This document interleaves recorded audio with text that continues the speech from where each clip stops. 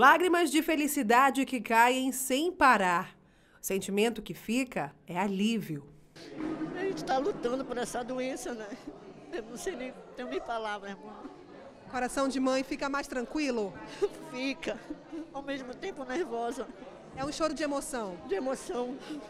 Ângela foi a primeira criança a receber a dose do imunizante e abriu a aplicação da vacina para o novo grupo. Um momento inesquecível. Ah, representa é, coisas maravilhosas, né? Que nós estávamos esperando esse momento há muito tempo. Graças a Deus chegou até nós. Quem também se emocionou foi a enfermeira Adriana. Ela levou o filho Bernardo, de 10 anos, para receber a primeira dose. Ele tem asma e faz parte do grupo de risco.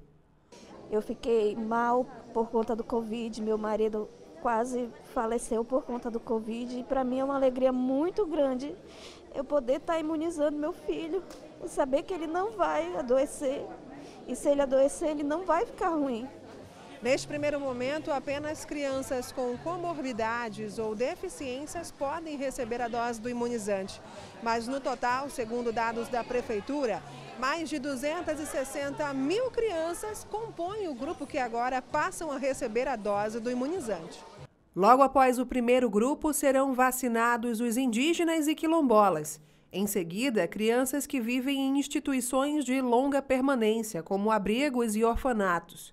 E, por fim, a população geral na faixa etária recomendada, sempre uma idade por vez, em ordem decrescente.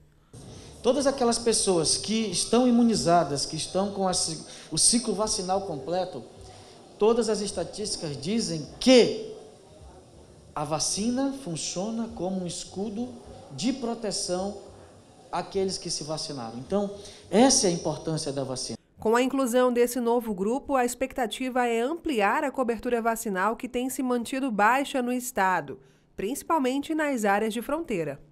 É algo que me preocupa muito o fato de alguns municípios do interior é, não conseguirem avançar nesse sentido. Tabatinga, por exemplo, que é uma área de fronteira, só há 22% de pessoas que tomaram a primeira e a segunda doses. A vacina aplicada nas crianças foi disponibilizada pela Pfizer e passou por rigorosos testes antes de ser aprovada pela Anvisa. Marlene pesquisou todos os detalhes antes de trazer o filho. É, estudar, pesquisar, ler o que as matérias importantes falam, Ministério da Saúde e confiar na Anvisa, né? Crianças têm que se vacinar é um dos direitos delas e também para o Covid-19 acabar logo.